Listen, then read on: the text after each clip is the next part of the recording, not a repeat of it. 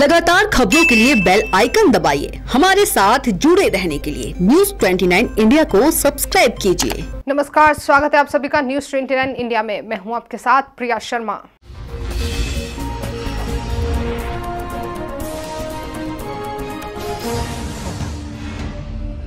मंदसौर ज़िले के चंदवासा चौकी के अंतर्गत चंदवासा बस स्टैंड पर दोपहर को कैलाश प्रजापत नामक युवक का, रवि नामक युवक का दो हज़ार रुपए के लेन देन की बात पर विवाद हो गया। इसके बाद कैलाश ने चाकू से रवि पर हमला कर उसे घायल कर दिया। विवाद की सूचना मिलने के बाद रवि का भतीजा श्यामलाल भी मौके पर पहुँचा और हमलावर ने श्यामलाल पर भी चाकू चला दिया।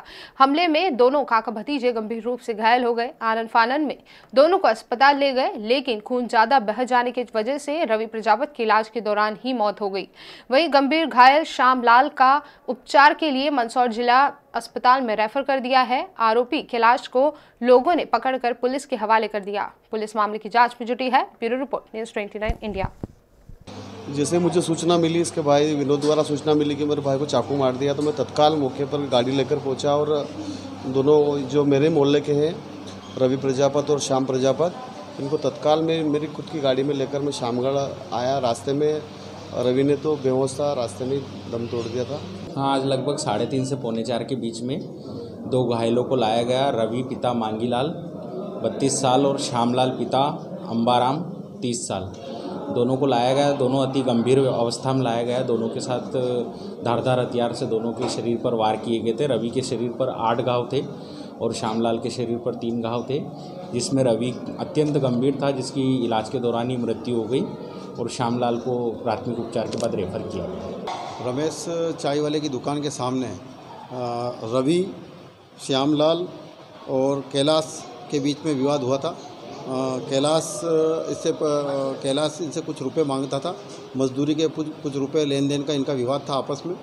इसमें कैलाश जो है गाली गलौज करने लग गया तो श्यामलाल ने समझाया कि काका पैसे दे देगा। काका इसका रवि को काका बोलते थे, काका पैसे दे देगा। गाली गलौज मत कर। इस बात से नाराज़ होकर कैलाश ने अपने जेब से चाकू निकाला और इसको रवि को चाकू जो है छाती और पसली पेट में और पेड़ू में भी मारा और वहीं मौके पे उनका भतीजा मौजूद था श्यामलाल। वो भी बीच बचाव करने आया तो उसे भी जो है बाई भुजा पर और कंधे पर और बाई तरफ़ पेट में चाकू लगा। गंभीर चोटें आई है। कैलाश ने रुपयों के लेन देन की बात को लेकर रवि और श्यामलाल के साथ प्राणघातक चाकू से प्राणघातक चोटें पहुँचाई है। इलाज के इलाज के लिए वहाँ के उप सरपंच मौके पर अपनी कार से तत्काल इन दोनों घायलों को लेकर सिविल हॉस्पिटल शामगढ़ लाए, जहाँ पे इलाज के दौरान रवि की जो है चोटों की वजह से रवि की मौत हो गई है और श्यामलाल को मंदसौर रिफ़र किया गया अग्रिम इलाज के लिए। लगातार खबरों के लिए बने रहिए न्यूज़ 29 इंडिया के साथ। एक देश, सारे प्रदेश।